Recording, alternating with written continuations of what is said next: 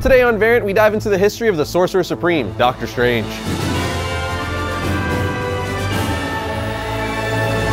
Welcome to where we love comics more than my producer loves them some Frosted Flakes. I'm your host, Arris Quinones. With Marvel releasing its latest cinematic spectacle this week, it's time for us to make good on our promise and give you guys the history of Doctor Strange. As we all know, Marvel spent the last 10 years turning its comics into a massive cinematic universe. And for those of you who are already familiar with his character, the addition of Doctor Strange to the MCU comes as no surprise, because the Sorcerer Supreme has played an important role in the Marvel comic universe for a long time. So let's dive in.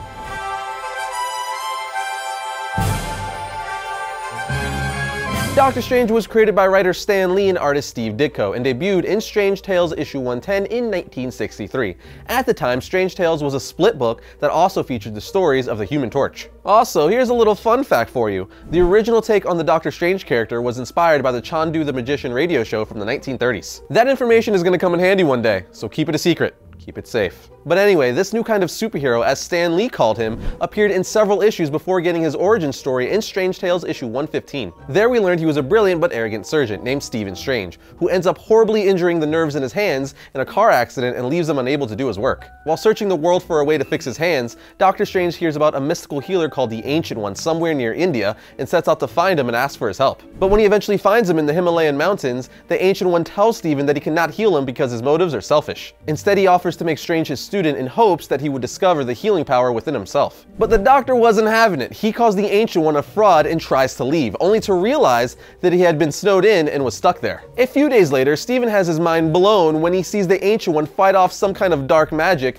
and then rushes in to help when the conflict left the Ancient One too weak. After this, Doctor Strange quickly realizes that there are forces that exist far beyond anything that he thought he knew. He also discovers that one of the Ancient One's students, Baron Mordo, had turned evil and was attempting to summon a dark power called Dormammu in order to kill him. But the Ancient One was already aware of Mordo's betrayal and put a stop to it. After seeing all this, Stephen changes his mind and asks the Ancient One to teach him the ways of the mystic arts in order to battle Mordo and help defend the Earth against dark forces. I mean, wouldn't you? The Ancient One agrees to make him his student, but not before warning him that the path ahead would be difficult and dangerous. Doctor Strange accepts and of course goes on to become the Ancient One's successor, the Sorcerer Supreme and protector over Earth's realm. But over the next few years, Baron Mordo continued to be one of Doctor Strange's greatest enemies and threats. We eventually even learn why Mordo went full dark in later issues, but I'll get more into that when we talk about the history of Baron Mordo next week. Doctor Strange fans were also slowly introduced to his biggest baddie, the very powerful demon Dormammu ruler of the Dark Dimension. Strange would eventually come face to face with this beast when Dormammu challenged him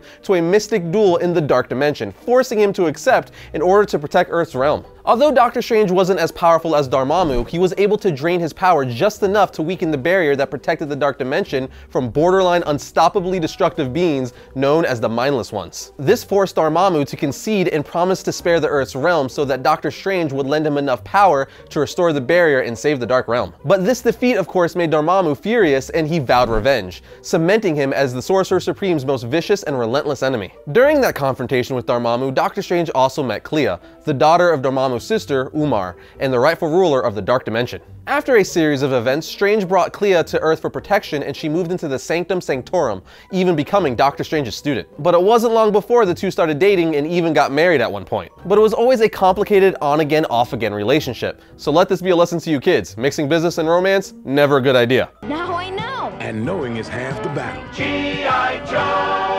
In addition to the villains and love interests, these early issues also introduced us to characters like the Sorcerer Supreme's most trusted friend and ally, Wong. Altogether, the mystical and surreal art and storylines of the first Doctor Strange run were so different and such a departure from Marvel that it caused some readers to wonder if they were the result of the creators experimenting with drugs. What can I tell you?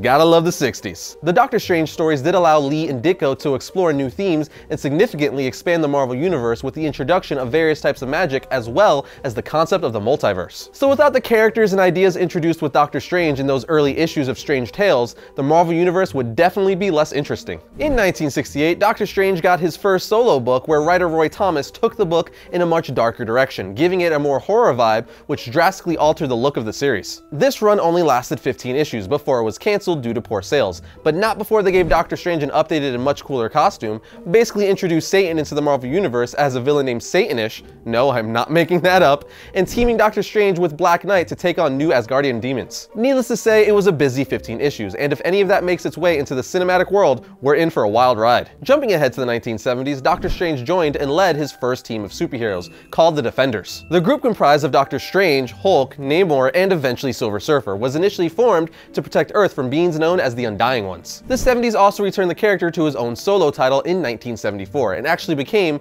an 81 issue run that lasted until 1987, making it one of the longest and maybe the most action-packed runs in the character's history. Some of the highlights from the run include the return of Baron Mordo, the debut of another reoccurring supervillain known as Shuma-Gorath, Doctor Strange teaming up with Nick Fury and the Howling Commandos to stop Dormammu from trying to escape the Dark Dimension again, a crossover story that involved a battle against Dracula and time travel to ancient Egypt where Strange witnessed the Silver Age battle between a young Fantastic Four and Rama-Tut. Then in 1988, writer Roy Thomas returned to the character, taking a more traditional approach this time with the title, Doctor Strange Sorcerer Supreme. This 90-issue run went until 1996 and featured appearances by Ghost Rider and Wolverine, and returned Baron Mordo more powerful than ever as the Sorcerer Supreme's greatest enemy. The series also introduced Mephista, the daughter of Mephisto, and saw the Doctor go head-to-head -head with baddies like Juggernaut and Hobgoblin. During the 2000s, Doctor Strange mostly appeared as a supporting character in titles like The Amazing Spider-Man, as well as a member of the superhero teams, the Illuminati and the New Avengers. In fact, while a member of the Illuminati, Strange played a role in kicking off the events of the Planet Hulk storyline, when they banished Hulk from Earth. Then, after Hulk finds his way back and destroys half the freaking Marvel Universe in search of revenge,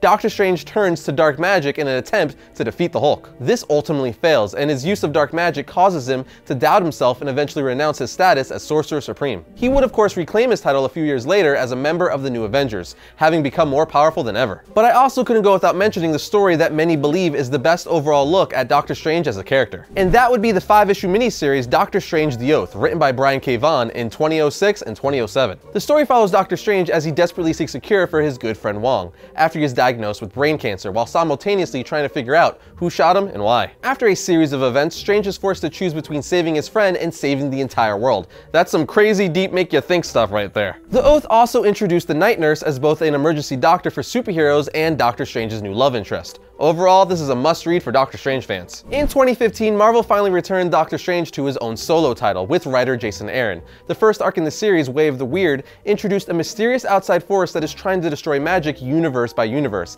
and has just brought back Baron Mordo again. The series has also dropped a pretty serious bomb when it revealed that the use of magic is actually damaging Strange's body. Curious to see how that's gonna work. So the writing and art have been pretty epic in this title so far, and I'm pretty interested to see how the title ties in to the cinematic universe. Not to mention they gave Doctor Strange a new battle axe. That's pretty much all I needed. Speaking of weapons, let's talk about Doctor Strange's powers and abilities, shall we? As one of the most powerful sorcerers in existence, Doctor Strange draws much of his power from a group of mystical godlike beings called the Vishanti. When called upon, he channels their power mostly through several mystical artifacts, starting with his amulet, known as the Eye of Agamotto. This amulet can do things like radiate light, probe minds, open dimensional portals, pierce illusions, and expose deceptions. It's probably his most commonly used artifact. We actually posted an episode on the Eye of Agamotto a few months ago, so you can check that out here. Some of the other artifacts he uses are the Cloak of Levitation, which allows him to fly without using his own magic, the Orb of Agamotto, which he basically uses as an interdimensional surveillance device, and the Book of Vishanti. With the use of various types of magic and his own psychic abilities, Doctor Strange is able to conjure such powers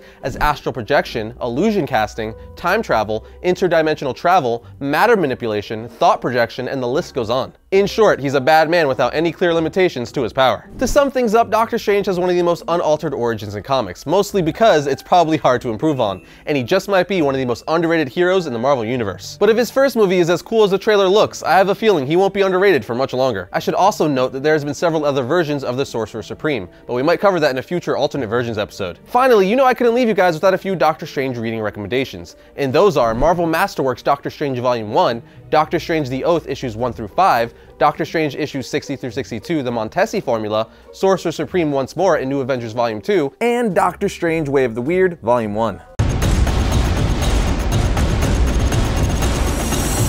First up for Wednesday, November 2nd, we have Unworthy Thor Issue 1. The Odinson's desperate search to regain his worthiness has taken him out into the cosmos, where he's learned of the existence of a mysterious other Mjolnir. And finally, we have Green Arrow Issue 10. Putting it simply, it's awesome to see Green Arrow and Black Canary fighting side by side once again. If you're a longtime Green Arrow fan, you're gonna want to read this. And that'll bring another episode of Variant to a close. But remember, you can always like our Variant Facebook page, keep up with the show and all things comic related. You can also follow Variant on Twitter at Variant Comics or me on Twitter at Arris underscore Quinones. But I'll see you guys on Saturday when we review Doctor Strange. Uh, uh, ah. The Illuminati's. Illuminati's. The use of magic actually is damaging Doctor Strange's rally. Doctor Strange's body.